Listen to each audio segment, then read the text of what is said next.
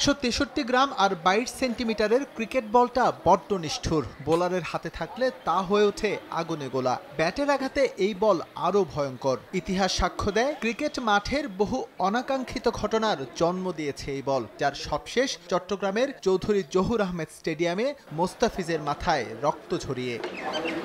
ভাগ্য সহায় ছিল বলেই হয়তো বড় মাচা বেঁচে গেছেন কুমিল্লা ভিক্টোরিয়ান স্পেসার। আপাতত পাঁচ সেলাইয়ের ওপর দিয়ে কেটে গেছে ফাড়া। তবে এ ধরনের ইঞ্জুরির ক্ষেত্রে চব্বিশ ঘণ্টা পেরোনোর আগে নিশ্চিত করে বলা যায় না কিছুই। শঙ্কা থাকে অভ্যন্তরীণ রক্তক্ষরণের। আর তাই মুস্তাফিজকে চব্বিশ ঘণ্টা নিবিড় পর্যবেক্ষণের প্রয়োজনীয়তা খুব করে দেখছেন বিসিবি চিকিৎসক ডাক্তার দেবাশিস।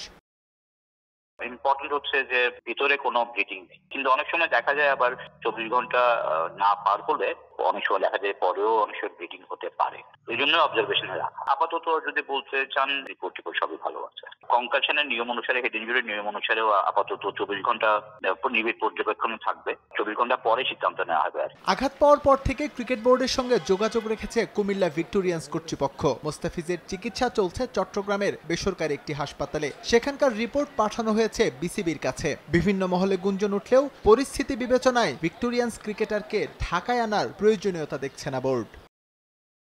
যেহেতু কোনো ইন্টারনাল হেমোরেজ পাওয়া যায়নি এর জন্য মুভ করতে হবে এমন কোনো ব্যাপার নেই। ইম্পেরিয়াল হসপিটাল যে সবচেয়ে ভালো হাসপাতাল এবং ওদের পর্যবেক্ষণ যে ব্যবস্থাগুলি আছে ওগুলি যথেষ্ট আধুনিক মানের।